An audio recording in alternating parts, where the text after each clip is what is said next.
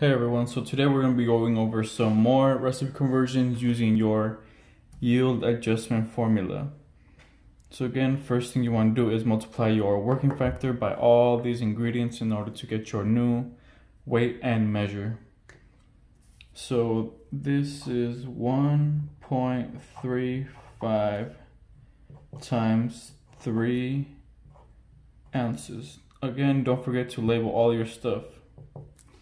So 1.35 times 3 equals 4.05 ounces. Again, label everything, but you can't leave it like that because you want to get it to its simplest form and you want it to get it to its lowest unit.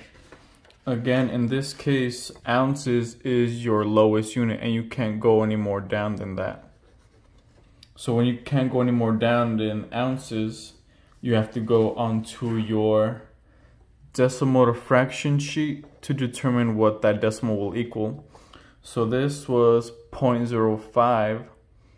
So 0.05 falls in between right here, zero, so it's nothing. So this just cancels off like that, and it just ends up being four ounces. So that is your final answer.